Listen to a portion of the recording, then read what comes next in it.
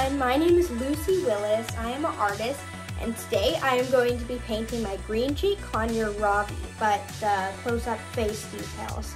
If you like this video, it would be so helpful to me and my channel if you could like and subscribe.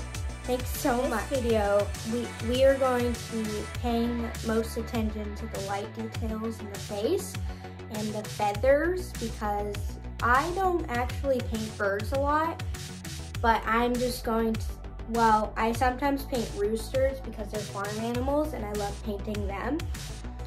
But birds, they're, they're kind of difficult. Um, so I'm looking forward to this and I hope you learn from this video.